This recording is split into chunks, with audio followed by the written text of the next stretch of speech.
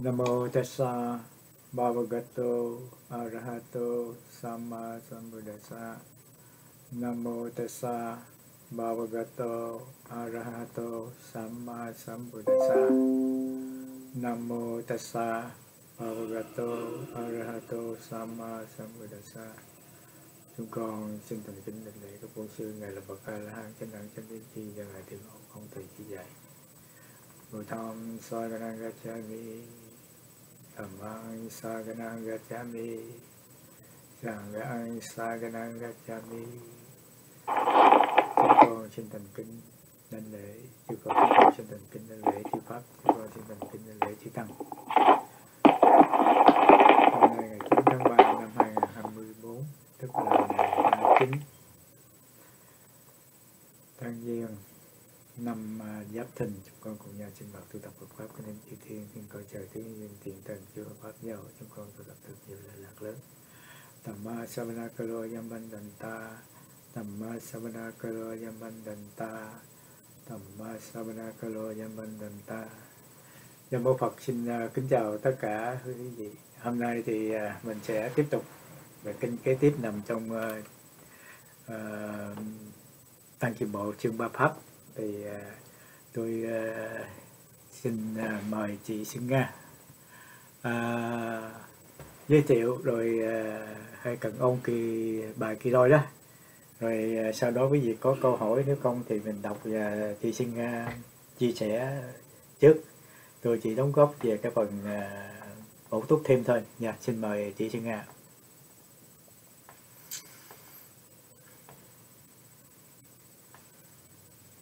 À, à, em à, kính chào tất cả các bạn ở trong nhóm.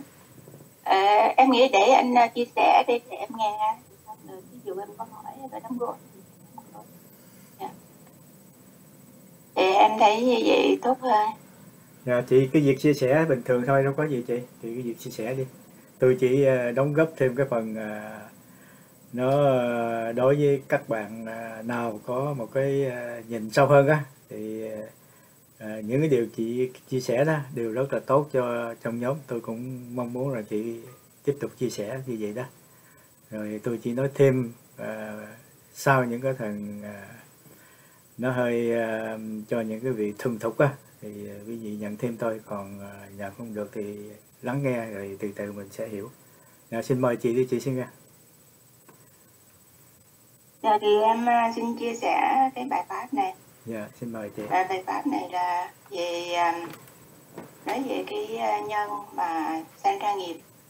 Thì cái sanh cái nhân mà sanh ra nghiệp á, thì ở đâu có cái à, cái gốc của tham sân si, là ở đó có nghiệp. Là tại vì sao? Vì vì trong cái khi mà có một cái tâm tham á, khởi lên, thì đó thì nó chỗ đó là hình thành một cái à, cái bản ngã. Thì nó, cái bản ngã đó được hình thành nó cũng do là từ cái vô minh với cái ái dục. Tại vì cái vô minh là không có thấy, không biết không biết được cái thực tướng của các pháp là vô thường khổ vô ngã. Cho nên có nghĩ cái đó là của mình hay là mình. Thì từ một cái sai lầm cái cái ảo tưởng về cái ngã sai lầm đó cho nên mới khởi lên những cái gì là ta à, là của ta. À, những cái gì mà à, mình biết mình nghe mình à, mình thấy mình nghe mình cảm xúc. Mình nghĩ là cái đó là do mình à, mình đã thao tác ra được thành ra chấp thủ là của mình từ đó thì mới tạo ra nghiệp từ cái nghiệp rồi là thân khẩu ý. Thì ở đây cái gốc của nó là cái gốc vô minh nhái dục nhưng mà nó thể hiện qua cái cái muốn cái muốn trong cái à, cái sự muốn có hình thành là gọi là cái tham.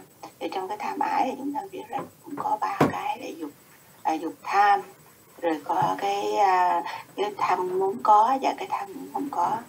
À, muốn có chứ không có gọi là dục ái hữu ái và vi hữu ái. Thì trong cái tham thì trong cái sân cái si à, trong cái sân cũng vậy. À, mình không có thích hợp một cái đối tượng nào. Thì mình muốn bỏ nó đi. Thì tại sao mà lại phải có như vậy? Là tại vì có cái bản ngã nó thể hiện lên à, không chỗ nào không có cái bản ngã thì không có cái tham sân si khởi lên. Thì không có vừa lòng không có phật ý à, không có muốn thế này hay thế kia. Mà chỉ để cho các pháp cái tự nhiên là mình nhìn thấy mình biết nó là vô thường. Nó là khổ não.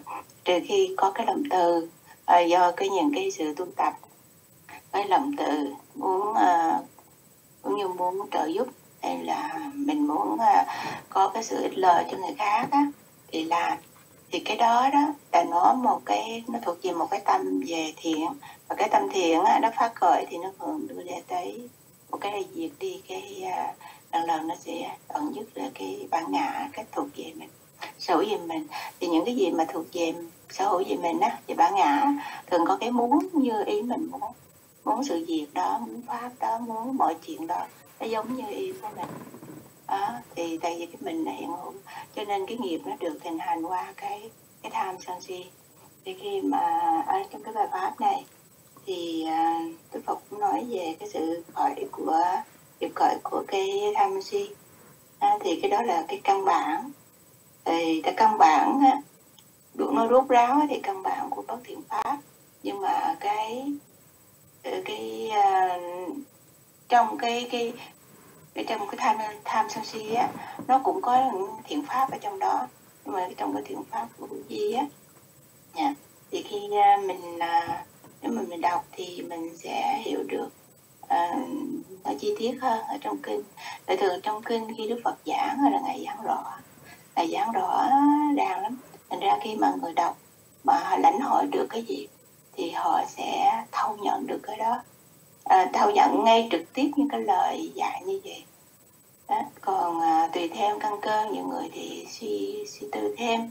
À, nhiều người à, suy tư theo cái mỗi cái à, trình độ của họ để họ nhận thức thì à, còn nếu mà cái người mà thường ngồi đó đó mình đọc kinh thấy những cái người mà họ lãnh hội được pháp liền là tại vì họ họ, họ lãnh hội như thị tức là họ lãnh hội ngay như vậy đó. Đức phật giảng như vậy họ thấy ngay như vậy đó thôi.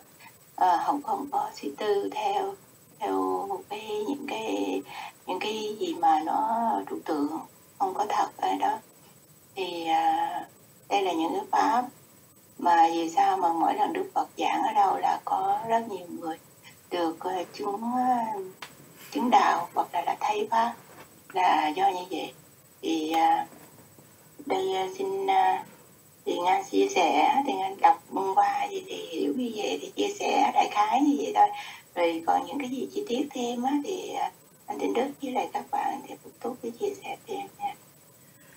Dạ, em dạ, sa thú dạ à, rất tiếc mình chưa có đọc. Giờ xin mời một vị nào tình nguyện đọc lại cho quý vị à, nắm vững cái ý của bài kinh ngày hôm nay. Và mời quý vị nào tình nguyện. Ngủ có ngủ ẩn dạ anh đọc anh rồi sa thú dạ dạ ngủ xin uh, đánh lễ ba ngôi tam bảo. Uh, xin chào các anh chị trong nhóm tu tập hôm nay à, ngũ xin đọc tăng chi bộ chương 3 ba pháp phẩm sứ giả của trời. Bài đọc 33 các nguyên nhân. Dạ tiếp tục à, có ba nguyên nhân này. Này các tỳ kheo khởi lên các nghiệp thế nào là ba? Tham là nguyên nhân khởi lên các nghiệp sân là nguyên nhân khởi lên các nghiệp. Si là nguyên nhân khởi lên các nghiệp. Phàm nghiệp nào được làm vì tham, này các tỳ kheo sanh ra từ tham, duyên khởi từ tham, tập khởi từ tham. Tại chỗ nào tự ngã được hiện hữu, tại chỗ ấy, nghiệp ấy được thường thục, chỗ nào nghiệp ấy được thuần thục, chỗ ấy quả dị thục của nghiệp ấy được cảm thọ ngay trong hiện tại. Hay trong đời sống kế tiếp, hay trong một đời sống sau nữa, phàm nghiệp nào được làm vì sân này các tỳ kheo sanh ra từ sân phàm nghiệp nào được làm vì si này các tỳ kheo sanh ra từ si. Tại chỗ ấy nghiệp ấy được thường thục hay trong một đời sau nữa? Ví như này các tỳ kheo hạt à, các hạt giống không bị bể vụn không bị hư thối không bị gió và nắng làm hư. Còn tươi tốt được khéo gieo vào một đồng ruộng tốt được trồng vào đất khéo sửa soạn và được trời mưa xuống đều đặn. Các hạt giống ấy, này các tỳ kheo, được lớn lên, tăng trưởng, lớn mạnh. Cũng vậy, này các tỳ kheo, phàm nghiệp nào được làm vì tham hay trong một đời sau nữa? Phàm nghiệp nào được làm vì sân hay trong một đời sau nữa? Phàm nghiệp nào được làm vì si? Hay trong một đời sau nữa? Có ba nguyên nhân này này các tỳ kheo khởi lên các nghiệp. Có ba nguyên nhân này này các tỳ kheo khởi lên các nghiệp. Thế nào là ba? Không tham là nguyên nhân khởi lên các nghiệp không sân là nguyên nhân khởi lên các nghiệp. Không si là nguyên nhân khởi lên các nghiệp. Phàm nghiệp nào được, làm vì không tham, này các tỳ kheo, sanh ra từ không tham, duyên khởi từ không tham, tập khởi từ không tham. Vì rằng tham được từ bỏ, như vậy nghiệp ấy được đoạn tận, được cắt đứt từ gốc rễ được làm như thân cây tha la, được làm cho không thể hiện hữu, được làm cho không thể sanh khởi trong tương lai. Phàm nghiệp nào được làm vì không sân, phàm nghiệp nào được làm vì không si. Này các tỳ kheo, sanh ra từ không si, vì rằng si được từ bỏ như vậy nghiệp ấy được đoạn tận được cắt đứt từ gốc rễ, được làm như thân cây tha la, được làm không, được làm cho không thể hiện hữu, được làm cho không thể sanh khởi trong tương lai. Ví như, này các tỳ kheo, hạt giống, các hạt giống không thể bị bể vụn, không bị hư thối không bị gió và nắng làm hư, còn được tươi tốt, được khéo gieo và một người lấy lửa đốt chúng. Sau khi lấy lửa đốt, làm cho chúng thành tro.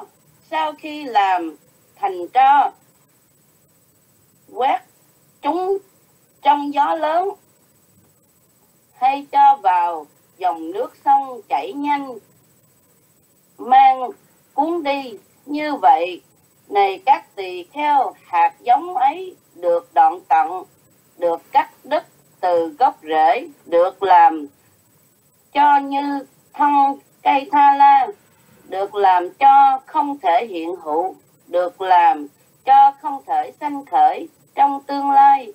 Cũng vậy, này các tỳ kheo, phàm nghiệp nào được làm từ không tham không thể sanh khởi trong tương lai. Phàm nghiệp nào được làm từ không sân không thể sanh khởi trong tương lai. Phàm nghiệp nào được làm từ không si, không thể sanh khởi trong tương lai. Có ba nguyên nhân này này các tỳ kheo khởi lên các nghiệp. Phàm có hạnh, nghiệp nào sanh từ tham sân si, do kẻ vô trí làm giàu có ít hay nhiều tại đây được cảm thọ không phải tại chỗ khác.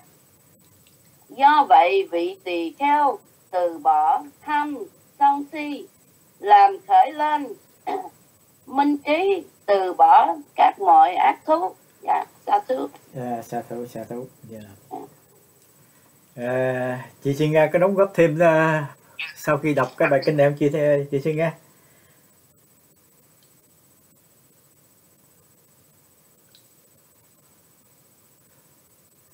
các vị khác mời quý vị khác đóng góp bài kinh này. Đóng thêm.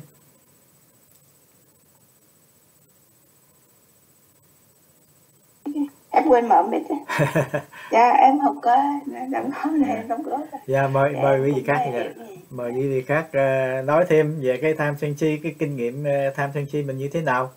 Và nói ờ, kể cả cái cách mình ờ, ờ, chặn đứng hay đoạn trừ nó như thế nào. Mời quý vị quý vị thảo luận. Cùng nói nhau.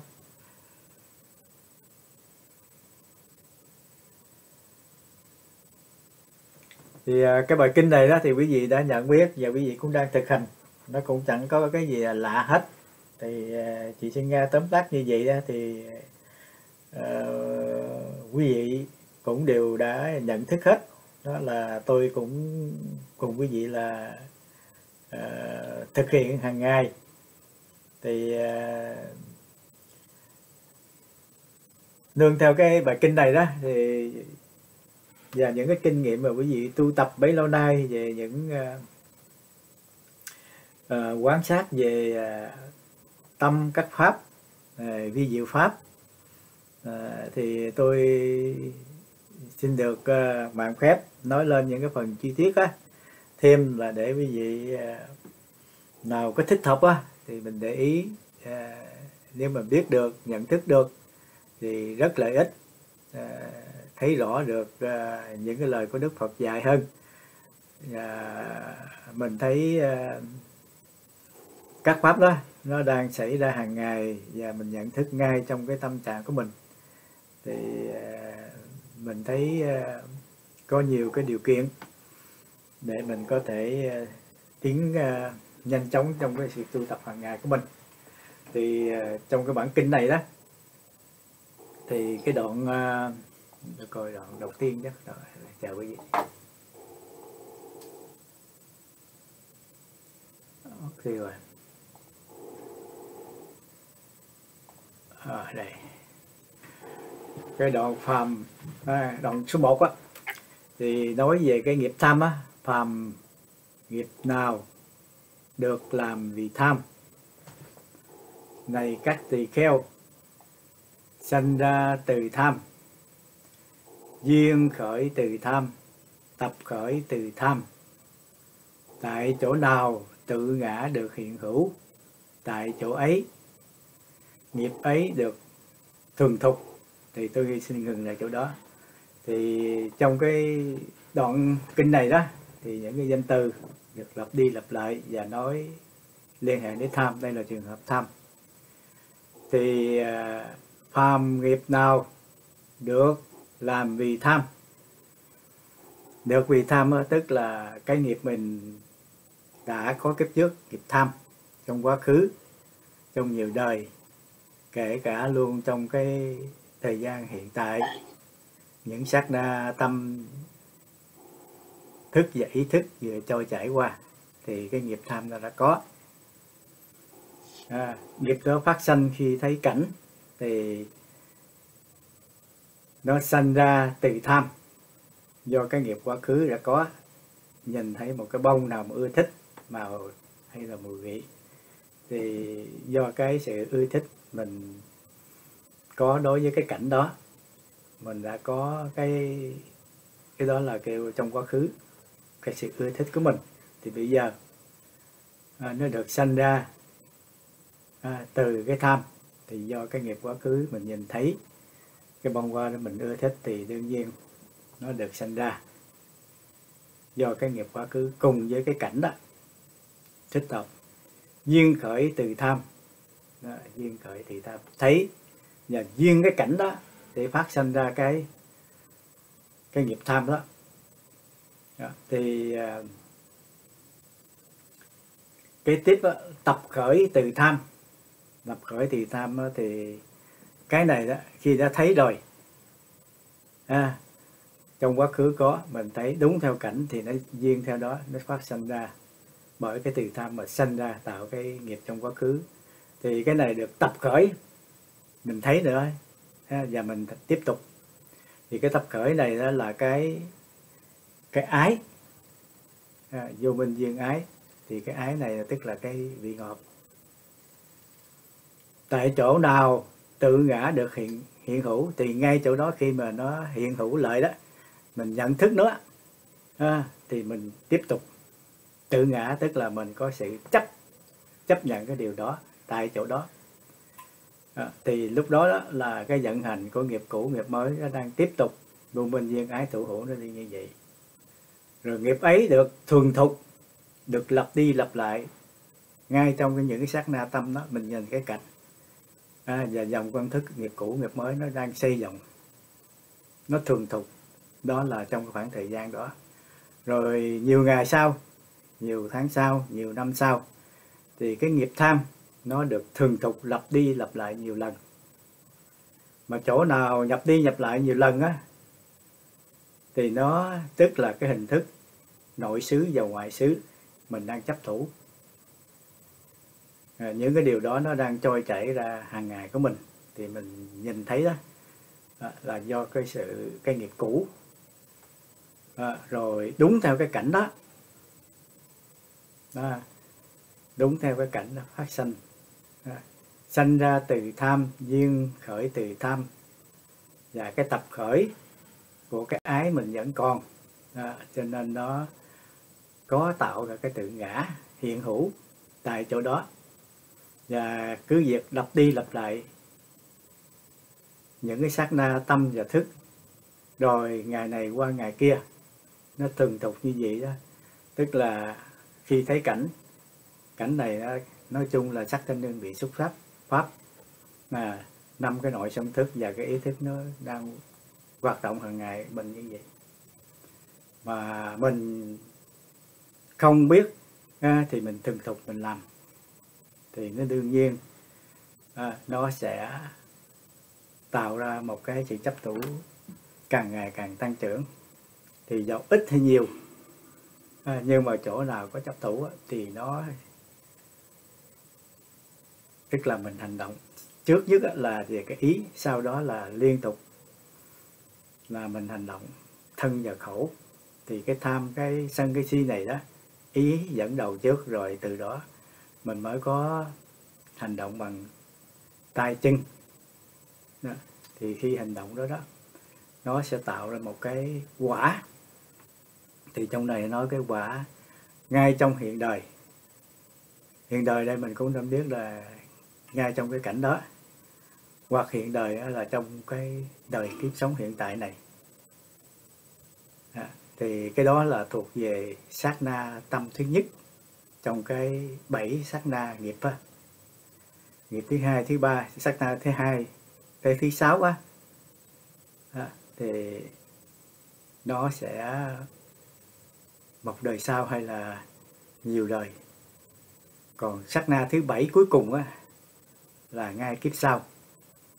Thì khi mình thường thục mình làm như vậy hoài đó thì chẳng hạn như một cái nghiệp nặng ngay chỗ ngay trong hiện tại mình nghe hay là mình thấy một người nào có ấn tượng cái cái sân của mình mình thấy người đó mình không có thích. À, và cái cảnh của người đó những cái hình thức hoàn cảnh đó cái người đó đang đối diện với mình hàng ngày nó không có gì thiên giảm hết nó thường tục nó làm như vậy. Thì lúc đầu á, thì mình có thể dừng nó lại không có nói lên lời nhưng mà cái ý rất là khó chịu. À, thì thường tục nó làm như vậy tới một thời gian á, thì cái quả của ý đó nó, nó đưa tới thân và khẩu. Bắt buộc mình phải hoạt động ngay chỗ đó đó, nhiều lần thường thục là có chỗ đó thì mình thấy cái tâm mình rõ ràng. Lần ngay trong cuộc nói chuyện nói qua nói lại mình thấy mình dằn mà hai người là không có biết dằn với nhau á thì tranh lên cái sự à, có cái không hài lòng với nhau nhận thấy cái quả hai người đều đau khổ hết. Đó. còn mình nói cho nó rõ hơn nữa thì khi mình tâm mình tham một người thấy tham thấy một cái điều đó lúc đầu thấy thì muốn chiếm đoạt nhưng mà không biết rằng à, thấy những cái điều kiện có sơ hở những cái điều kiện mình có thể lấy được và người đó hành động. Thì khi hành động á thì có thể là cái quả nó không có chỗ. Ngay hiện thời nó không chỗ và khi chết cũng không có chỗ đó. À, có người thì tham lấy điều đó. Ngay lúc đó thì không sao nhưng mà vài tháng vài năm sau bị cảnh sát hay bị luật lệ. À, trừng phạt thì cái quả đó ngay trong hiện tại. Có thể mình làm không có bị cái quả nhưng mà nhiều đời sau sẽ bị. Còn á, ngay đời sau á, thì mình làm một cái chuyện gì ấn tượng nó nặng quá. Mình thấy mình làm như vậy mà mình không có thể buông rơi được. Cái nghiệp nó đang quay quẩn về thì tới khi mình nằm trên giường bệnh và mình uh, từ bỏ cái xác thân này đó thì chẳng may nghiệp đó nó sẽ dẫn mình đi. Đó là cái chuyện uh, thường xảy ra trong cái đời sống tâm linh của mình đó là như vậy. Thì tôi cũng xin nhắc lại một cái bài kinh khác để ý nghĩa thế, thế tôn dạy như thế này. Ví như này các tỳ kheo các hạt giống không bị bẻ vụn không bị hư thối không bị gió và nắng làm hư còn tươi tốt được khéo gieo vào một đồng ruộng tốt à, được trồng vào đất khéo sửa soạn và được trời mưa xuống đều đặn. À, các hạt giống ấy thì các tỳ kheo được lớn lên tăng trưởng. Thì á trong một bài kinh khác thế tôn có dạy nghiệp nghiệp là thở ruộng. À, bài kinh này quý vị đã biết mà tôi cũng có mình cũng sinh hoạt nhiều lần. Nghiệp là thửa ruộng thức là hạt giống ái là sự nhuận ước. Thì cái thửa ruộng đó, thì để mình, mình biết á thửa ruộng á nghiệp mình á thì nó nghiệp nó rất là nhiều. Cảnh sắc thanh hương vị xuất pháp chú xứ nghiệp ở đây hay nghiệp bất cứ ở những cái cõi khác đều có nghiệp hết mình đã tạo nghiệp nhiều lắm. Nghiệp đó là cái chỗ để mình đi cái tâm mình nhập vào cái cảnh đó. À, khi cảnh nó tới đó là những cái cái thể ruộng còn thức á, là hạt giống. Hạt giống của mình á, là cái nhiều. À, công nghiệp mình rất là nhiều hạt giống. Nó sẽ đâm xuống bất cứ cái chỗ cái ruộng nào nó đúng lúc đúng duyên thì nó được buông xuống đó, chẳng hạn như bây giờ mình cảnh nhiều lắm nhiều người. À, mình có nhiều người nhưng mà người đó, đại ý là coi như là cái thở ruộng. Còn cái thức đó, khi mình nhận thấy đó, à, nó được đặt xuống. Đó. ái đó, là phân bón là nước. Nhưng mà cái vô minh duyên ái thủ hữu là ngay chỗ đó nó gặp nó dịp ngay chỗ cái miếng đất tốt. Và cái hạt giống đó nó chưa được bẻ dụng chưa được hư thúi thì á, nó được bỏ xuống đất. Nó sanh ra khởi ra cái đúng theo cái nghiệp đó. Nhưng mà không tưới nước không bón phân thì nó cũng không thành tựu. Thì ví như mình có một cái cảnh một hoàn cảnh nào thì cái nghiệp đó, đó là cái thở ruộng nó ngay chỗ đó và cái thức mình đặt ngay chỗ đó mình thấy. Mình đang đối diện ngay chỗ đó thì mình thấy khó chịu. Nhưng mà mình người tu hành mình biết mình không có tưới nước không có bón phân. À, thì nó sẽ không có dịp phát sinh đó. cho nên ngay trong cuộc sống của mình, nhiều cái bối cảnh ở trong gia đình hay là bất cứ chỗ nào, công sở, thì khi mình nhìn thấy mình mới biết rằng cái nghiệp này đó, mình đang trải dài ở khắp nơi, ở tam thiên, đại thiên thế giới thì khi mình chết á, tới khi chết á, cái thức á, là cái hạt giống sẽ được buông rơi ngay chỗ cái cái cảnh đó, cái cảnh thích hợp đó và cái ái. À, cái ái á, là cái phân bón và nước. Cái cường độ nó quá mạnh. Thì là mình nhập thai cái cảnh đó thì trong khi mình đang sống hiện tại mình tạo nhiều cái nghiệp. Nếu cái người mà tham sân si nhiều à, thì thấy cái cảnh ở địa ngục ngạ quỷ súc sanh những cái cảnh thú thì ác thú á, thì phải À, đòi đọa vào cái cảnh đó. Cảnh người thì thấy những cái nghiệp cái thể ruộng đó là cái thể ruộng của của nhân hoặc là thiên thì cái thức nó được đúng. À, và cái ái đó, được phân bón thì cái người đó quá sanh về cái cảnh đó. Còn đối với một trường hợp không tham không sân không si mà đến như bậc uh, a la hán á thì cái hạt giống này nó không còn. Tức là cái vị đó tu tập. Giàu là bậc thánh thứ ba. Bậc thánh thứ ba cũng còn. Cho nên nó là đức phật dạy phân tán khách cái thức á, là phải buông bỏ tất cả. À, phải buông bỏ tất cả. Nhưng mà mình á, thì không phải mình thấy như vậy là mình học á, thì đức phật dạy làm điều thiện mà đức phật lại dạy buông bỏ hết. Thì mình thấy mâu thuẫn nhưng mà con đường trung đạo đó mình phải biết. Mình là người phạm phu người tham sân si thì nói tu tập bỏ tham sân si cái mức độ an nhiên. Thấy à, thân tâm mình rất là an lạc.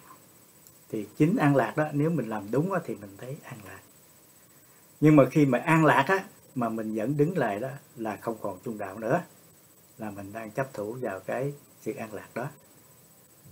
Cái trung đạo có nghĩa là làm sao mình thấy nó không có hai cái thế cực. Không có hai thế cực. Mà mình dừng lại, tức là đang dướng vào một cái thế cực. Thì con đường trung đạo là mình phải nhìn chánh kiến, để nhìn thấy cái chánh tinh tấn của mình.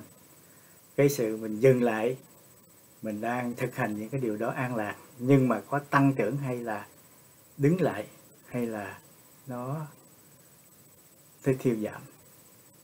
Thì bác chánh đạo con đường đi trung đạo là bao giờ cũng phải nhìn đến cái mức độ nào tiến tới mức độ nào dừng lại tới mức độ nào phải làm thêm nữa.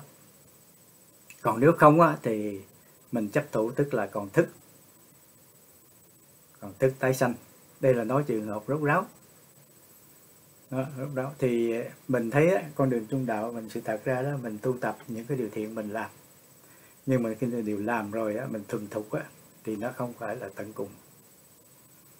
Đó, cái người đi vào đạo á, là mình phải nhìn thấy tất cả những cái pháp đó. Nó phải được thăng tiến mình phải có cái dục để tăng tiến. À, vì tinh tấn á, nó có sự tăng trưởng những điều thiện và đoạn giảm những cái bất thiện. Đó, thì cái chánh kiến cái nhìn đó như vậy và cái niệm phải cũng nhìn đúng như vậy. Và nhờ có cái định mình thấy rõ. À, cho nên con đường tu tập mình đó mình thấy đó là chỉ chừng nào khi nào đó, mà mình buông bỏ thật sự còn bây giờ thì mình không có thấy. Cho nên những cái lúc mà mình thành tựu mình thảnh thơi mình thấy được là vừa đủ thì nó cũng tốt nhưng mà nhìn theo con đường trung đạo đó là mình phải có cái nhìn xa hơn nữa. Để thật sự đây có phải là cái sự chấp thủ về cái cái mức độ đó hay không? Nó thì uh, tôi uh, nói thêm những cái phần đó cho những vị nào biết về vi diệu pháp cái tiến trình của cái dòng tâm thức mình đó, nó đi như vậy. À, còn nói cái thức đó, là cái nghiệp đó, cái nghiệp và mình đã thức là hạt giống. À, và nghiệp mình tạo ra nhiều cái cảnh để mình có thể thức an trú vào đó nhiều lắm. Cho nên cái thức này những cái hạt giống này đó là mình phải làm sao nó không có nữa. Đó, cái quan trọng nhất là cái hạt giống đó tức là cái sự gìn giữ cái sự chấp thủ của mình. Thì chấp thủ của mình. Thì cái hạt giống đó tức là cái cái thức tái sanh. Thì cái thức này đó nếu con đường trung đạo đó, thì thức duyên danh sách à, thức còn danh sách còn. Nó là hai cái cực. Làm sao trung đạo là không còn. À, xúc đó, làm tập khởi tất cả. À, thì mình đã học những cái bài như trong trăng rằm những cái bài đó đó là con đường trung đạo là làm sao cuối cùng là cái thức. Không còn gì danh sắc nữa. Đó, thì à, mình đã biết quý vị cùng nhau tu tập bấy lâu nay về thiện bất thiện à, tham sân si thì mình cũng đã nhìn thấy. À, nhưng mà khi mình nhìn thấy như vậy thì theo tôi thì kinh nghiệm hàng ngày mình thấy trong ngay trong gia đình cái hai thành viên trong gia đình nói qua nói lại hay là cái này không vừa làm này kia thì nhìn thấy. Chính bản thân tôi cũng thấy khó chịu mà làm thường tục quen rồi đó. Rồi nhiều khi mình muốn nói từ từ cái tự nhiên á, năm tháng rồi đó mình biết cái câu nói đó mình không hài lòng rồi mình cũng có thể bỏ qua được cũng không có để ý à, thì chính những cái điều đó đó là mình thấy thể hiện trong cái tâm thức của mình nó đang trôi chảy hàng ngày. Mình nhìn thấy tất cả những cái bối cảnh gì đó mình tạo những cái hoàn cảnh đó cái khung cảnh ấm áp cho tất cả mọi người cố gắng mà làm. Dầu đó có thể tới đâu mình cũng phải làm hết sức mình. Nếu không được thì thôi. Thì tôi cũng có khuyên là quý vị cũng bằng tuổi tôi nhiều như mà người nào trẻ hay nhỏ hơn có những cái hoàn cảnh khó khăn á à, trong gia đình con cháu thì mình nhìn thấy như vậy thì mình cố gắng. Ờ, mình cố gắng.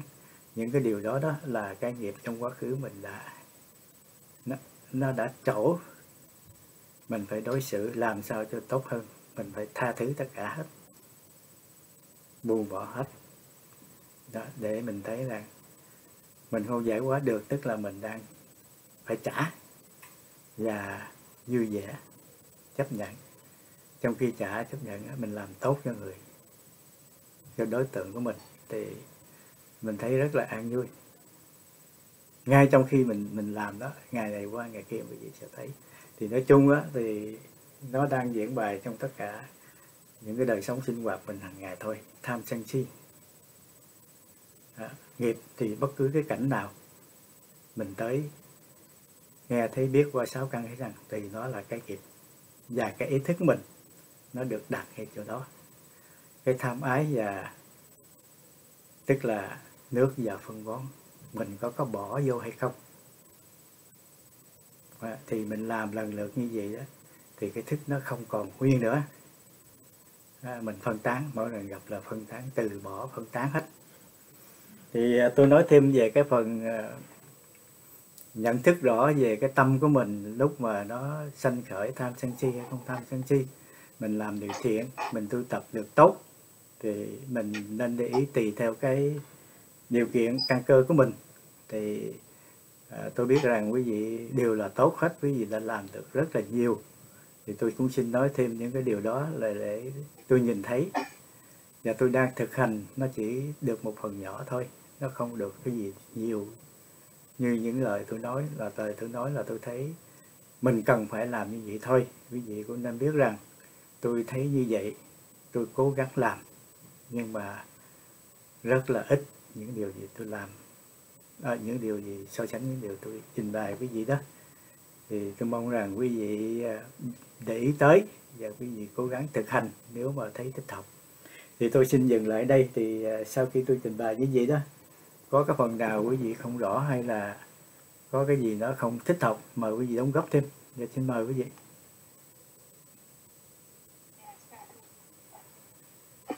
Dạ mời chị xin ra chị nghe dạ em xa thưa thì em à, nếu mà đóng góp thì em đóng góp thêm một phần chút nữa là cái nghiệp đó chính là thói quen á. Dạ. cái thói quen á mà là nghiệp tại vì sao? Thì khi mà mình làm cái gì mà bằng cái thói quen á mình làm hoài một cái việc đó thì nên mình ít có khi nào có mình bị thiếu cái trách nhiệm về cái việc đó. Tại vì mình quen rồi mình thuần thục rồi. Thành ra mình, dạ. mình không có quan tâm. Còn cái gì mà mình lúc nào cũng cẩn cẩn trọng lúc nào mình cũng thấy như nó mới á tức là mình mình tại vì mình không thấy được cái vô thường của nó. Cho nên á, nếu mà mình cứ cẩn trọng từ chút á thì cái đó đó nó nó không có à, tạo thành một cái thường nghiệp. À, tại vì cái gì thường nghiệp thì nó cũng có cái thường nghiệp xấu thường nghiệp tốt. Mà thường là gọi là thường nghiệp rồi á thì mình ít có gọi là cẩn trọng. Mà trong cái sự tu tập á sự cẩn trọng á là một cái điều rất là quan trọng. Tại vì cái cẩn trọng á ờ, thì mình mới ờ, có thể control được cái ý nghĩ rồi cái lời nói hay việc làm của mình thì em thì em cũng em cũng thấy rằng là những cái gì mà mình làm quen á, mình ờ, mình mình gọi là cái gì đó, coi như là mình ít có trân trọng, mà coi như mình thuần thuộc á, mình là, mình làm gì thôi. Nhưng thành ra cái tay mình làm cái miệng mình nói, nhưng mà tâm mình nó có thể đi chỗ khác. Nó không có tập trung cả, tập trung trở lại. Cho nên cái chuyện mà tu tập á là luôn luôn từng cái phút giây mình luôn luôn phải phải nhìn ngó phải trở về. Thì tất cả nó đều thay đổi từng cái ờ, từng cái cái sát na từng cái giây phút. Chứ không phải là nó nó luôn luôn như vậy hoài nó luôn luôn như mình nghĩ nó luôn luôn giống như là mình muốn hay là mình nó luôn luôn như mình từng làm. À, thì tại vì mình bị cái uh, do mình là thất nghiệp á thành ra mình thấy như là cái gì nó cũng thường như vậy. Rồi tới trình chừng mà tình linh á thì nó khác đi hay là mình thấy nó sốc. Hay là mình thấy hết hồn hay, hay là mình mình bị tròn lên hay là mình không có mình không có được gọi là uh, chấp nhận nó liền được. Đó, thành ra khi mình ở trong cái trạng thái mình biết rằng cái gì nó cũng vô thường à, cái gì nó cũng thay đổi thì tự nhiên á cái gì nó xảy ra mình cũng đều thấy nó bình thường. Mình cũng chấp nhận được. Thành ra cái um, thứ nhất là mình uh, nếu mình cẩn trọng thì mình không có cái tham. Thứ hai nữa là khi mà nó xảy ra đó thì mình biết rồi nó nó nên như vậy rồi thành ra mình cũng không có sợ. À, thì cái sự tu tập của em thì cũng là như vậy. Cho nên em cái gì em cũng nghĩ là uh, mỗi mỗi cái lúc làm gì hay gì đó cần phải có sự thận trọng. À, mình thận trọng mình à, tu tập. Thì mới gọi là chánh niệm được. Chứ còn không á thì mặc dù mình à, làm cái gì mình thấy như tốt đó nhưng mà thật ra là mình cũng thất niệm. Đó thành ra em uh, trong cái sự tu em uh, thấy ra được như vậy đó. Dạ yeah, dạ yeah, sa tú. Thì uh, mình thường tục như vậy đó tức là giàu cái tốt nhưng mà đây cái tốt của thiện pháp nhưng mà không ý tôi muốn nói là chưa có chưa có đoạn tận tất cả đó thì giàu và làm điều thiện tốt như vậy thường tục. Thì cái đó cũng nó thuộc về à, phúc hành. Thì trong đó nói phúc hành đây là nói tới những cái giai đoạn để mình đi đoạn từ tất đoạn từ tất cả thì thường tục mình chấp hành, mình làm thường tục như vậy thì nói rõ hơn. Thì lúc đó cái ái thủ hữu vào cái nghiệp thiện, phúc hành. Còn những cái điều bất thiện là phi phúc hành. Còn bất động hành là những cái tầng thiên mình nghĩ là nó như vậy nhưng mà nó cũng là một loại chấp thủ. Cái thức thức là cái hạt giống. Bởi vì ý ý tôi trình bày với gì đó, thế tôn dạy bởi vì mình tu tập qua những cái bài kinh về con đường. Nhiều người nói chánh kiến chánh tư duy. Đó, thì nói thông thường đó, nó là gì? Nhưng mà nói theo cái tinh thần của Đức Phật dạy một cách rốt ráo đó. Thì cái đó tùy theo căn cơ mà tôi trình bày với vị là lý do mình cùng nhau trong cái group này. Mình hiểu mình thấy được những cái điều đó thì mình nên cẩn thận mình nên cố gắng. Còn không mình cũng được điều đó là tốt thôi nhưng mà trên tinh thần để nói hiểu được cái ý kinh đó như vậy đó để mình thấy chánh kiến à, dị lưu à, đạo thì mình phải có một cái nhìn xa những cái gì mình làm thiện pháp những an vui hạnh phúc của mình. Đó, thì nếu mà chưa phải là bậc giải thoát á, hoàn toàn á, thì cái đó cũng ái tức là nước và phân bón. Cái thức đó gặp đúng duyên thì nó phát sinh thì khi mình bỏ thân mạng thì mình cũng, nếu bậc tu thiền thì nó cũng quá sanh về những cõi tinh thiên bậc thánh cũng quá sanh về những cái bậc thánh nhưng mà chưa giải thoát. Thì mình nhìn thấy rõ để mình ờ, có cái sự cố gắng như chị sinh nga trên bài đó, là cái chánh niệm bởi vì cái ờ, bác bát chánh đạo mình nói trung đạo mình phải nhìn nhìn rõ lắm. Nó bao giờ trung đạo có nghĩa là không rơi vào hai thế cực. Đó, không hai thế cực. Một thế cực quan trọng là thức duyên danh sắc. Một là thức hai là danh sắc. Nó, nó như vậy. Thì uh, mời quý vị đóng góp thêm quý vị có câu hỏi ngay trong cái đời sống Ờ, cái kinh nghiệm mình làm và liên hệ đến tham sân si qua bài kinh này như thế nào mời quý vị đóng góp?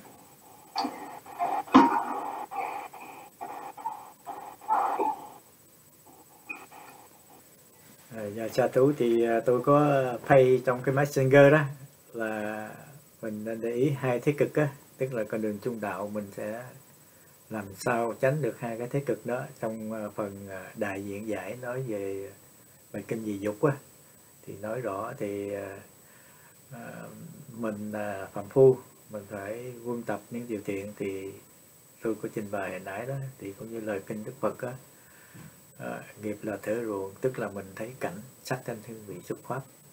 À, thì cái thức của mình khi thấy tức là cái hạt giống đặt xuống thì những cái cảnh những cái thức nào uh, bất thiện thì mình cần phải phá tan phân tán nó. Thiện thì mình cần phân bón tăng trưởng tới mức độ nào đó thì mình cũng cần phải có đi con đường trung đạo nhìn thấy rõ thức duyên danh sách. Và mỗi lần khi à, bắt cảnh thì cái xúc nó phát sanh lên. Và mình cảm thọ như thế nào chính những cái điều đó con đường trung đạo mình nhìn, nhìn thấy rõ để mình uh, cân bằng cái mức độ nào đó rồi mình cũng phải thăng tiến để mà buông bỏ tất cả. Thì ờ, đó là trong cái phần mà tôi play trong cái bài kinh về dục cũng nằm trong tiểu bộ á. Bài kinh này à, tôi cũng rất là dài thì hàng tuần tôi có bỏ lên một một phần. À, một bài thì nó có cũng nhiều lắm. À, thì ờ, tôi cũng đưa lên đó. Thì ờ, để quý vị thấy à, quý vị đã tu tập có cái trình độ đã nhận biết trong cái lúc mình những cái chuyện mà tôi trình bày quý vị quý vị đã nghe. Thì có có thể quý vị không để ý trước thì tôi cũng mong rằng quý vị để ý rất là nó nhiều cái đó không có thể mình tưởng tượng. Chính bản thân tôi tôi so sánh thì tôi mới biết được thì tôi thấy đây là những cái điều rất là lợi ích. Dầu mình tu như thế nào mình cũng cần phải chánh niệm như chị Sinh Nga nói đó. Thì cái chánh niệm đó là chánh niệm như vậy chứ không phải chánh niệm bình thường. À, chánh niệm để mình nhìn thấy cái pháp này mình đang tiến à, hay mình đang lùi bởi vì khi chánh niệm là có chánh tinh tấn à, và chánh kiến à, chánh tư duy để quân bình. Có khi nào mình nhìn thấy đây là bất thiện pháp mình thấy là cần cắt bỏ dứt bỏ mà không cần phải suy tư. Thì lúc đó mình làm nó là tùy niệm tùy theo.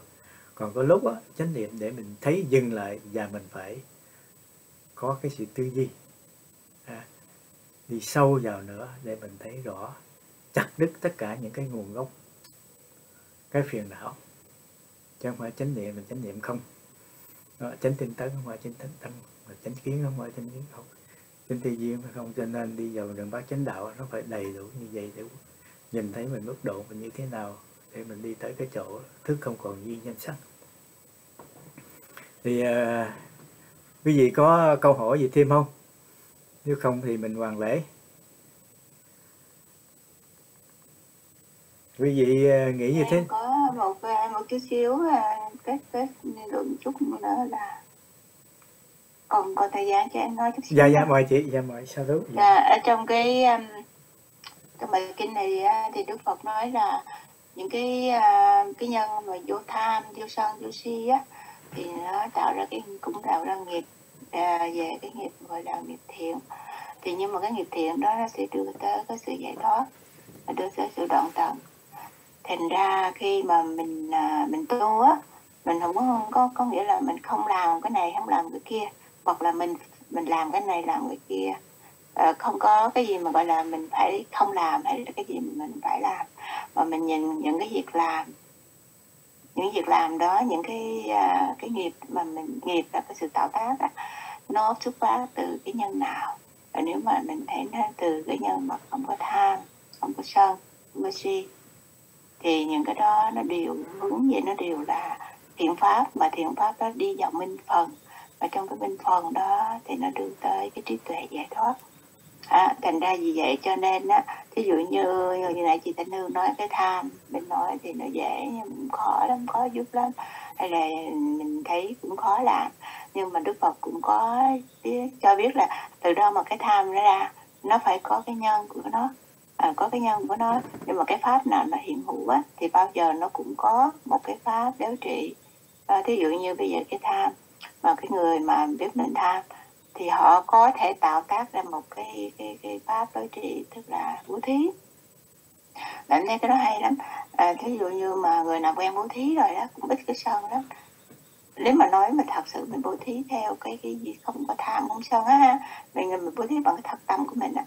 Tại vì thì khi mình mình quen bố thí á, thì nhiều khi trên đời này thì mình cũng gặp nhiều cái người mà họ lường gạt mình hay là họ gọi là họ dối trá mình.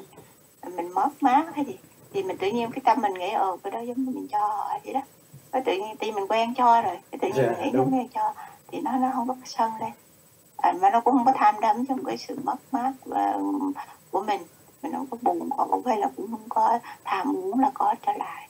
À, thì cái cái à, thiện pháp á, là những cái thiện pháp mà nó có cái cái gốc cái căn gốc từ cái tham mình làm đó, không phải do tham, không phải do sân á, phải do si á, thì nó đều đưa vào minh phần hết thành ra khi mình tu á, thì em thấy mình không có nên nói là không nên làm cái không ờ, không không phải làm cái này hay là không phải làm cái kia, không có cái nào phải hay là không phải hết. mà cái gì nó cũng coi coi nó cái cái động, cái tác động nó làm ra từ cái tâm nào à, một cái tâm mà nó ờ, mình muốn làm đó để cho người ta khen muốn làm đó để mình chứng tỏ thế này thế kia làm cái tâm tham. À, thì chắc chắn là nó có phiền não à. Cái tâm đó là làm thế nào có phiền não. Còn cái tâm mà mình làm mà mình biết là mình làm do cái lòng từ của mình do cái cái cái sự mà phải làm gọi là cái ờ, cái tâm mà, mà thanh tịnh của mình. À, thì mình làm bất cứ cái gì nó cũng đưa tới một cái kết quả là nó an tịnh nó không có bị dao động. Ở thì em thấy hay lắm, Phật dạy đúng vậy. Nhưng mà mình không có pháp Phật thì mình cũng không biết làm cách nào. Thì trong cái pháp Phật là dạy rất là rõ. Ờ, mà mà cũng dễ áp dụng, cũng dễ, mình dễ học, cũng dễ làm. Thì ờ, nếu mà mình thật tâm mình muốn thực tập thôi, chứ còn mà không có phải là nó khó thì anh áp dụng hết cho những tất cả những hàng ờ, những cái điều nào mà nó, nó phù hợp với mình á mình cũng dễ làm. Thành ra em ờ, chia sẻ thêm cái phần này. Dạ, chào tú. Thì uh, đây là mình nói như vậy đó nhưng mà quý vị cũng đã biết uh, nhiều người hơi máy móc quá. Thì nói vô thường khổ vô ngã uh, từ bi hỷ xã này kia gì hết trơn á. Nhưng mà những cái pháp đó mình phải làm thuần thục mình làm thật sự tới cái giai đoạn đó mình làm mình thấy tự tại như chị Trinh Nga thí dụ đó.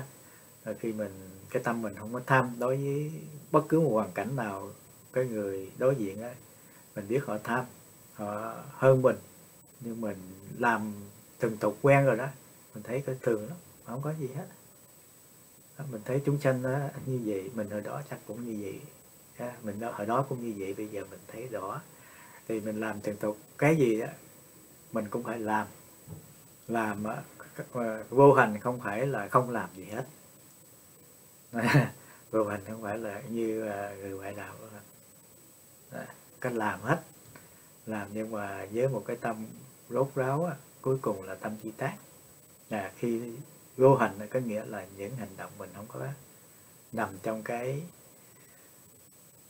đó là cái tâm di tác của Phật Phật thánh đó không còn một cái sử nào trong 10 cái sử. Còn mình làm á à, mình nói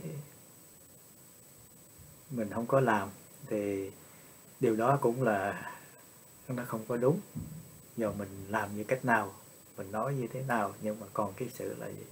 Cho nên cái chỗ mà niết bàn hiện tại đó cái nhiều người nói không làm buông bỏ tất cả mình quán không làm. Nhưng mà sự thật đó nó không phải. Đó, thì từ từ có những cái bài kinh đó, đó nằm trong trung bộ.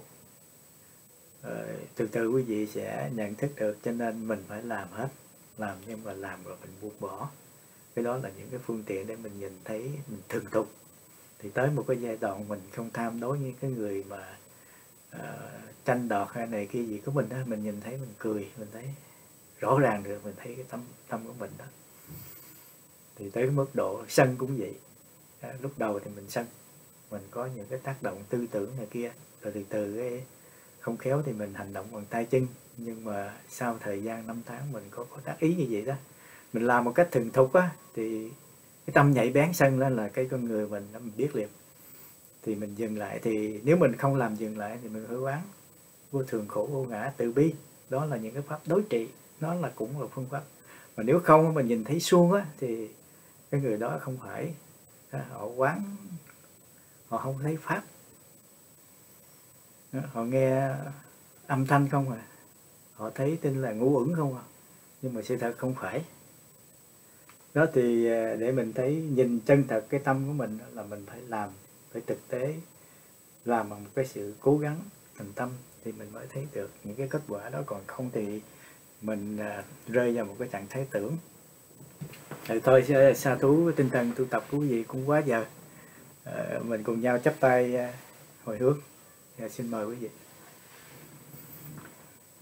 Một Phật chúng con xin chỉ điều phúc báo tu tập này về chư thiên xin cõi trời thiên thiên thần. Chư hợp pháp đồng điều phúc báo nhà cả thảy chúng con cũng xin chỉ điều phúc báo tu tập này. Các bạn tu tập trên lai các bạn tiếp tục. Nhà mẹ hiện tại thừa phước báo nhân thiên sống lo vui hạnh phúc. Thành công trong cuộc sống phát tranh trí tuệ bằng nhạc viện đó chúng con xin hỏi phúc báo này vì ông bà cha mẹ thân bằng quý thuộc có giảm như đời những kiếp của chúng con. Dầu có sanh có nào cũng có nhân thiên sống lo vui hạnh phúc sống gặp Phật pháp tu tập để giảm viện nam mô bổn sư thích ca mâu ni phật nam mô bổn sư thích ca mâu ni nam mô dạ sa thú sa thú. Dạ. Sa thú. Sa thú dạ sa thú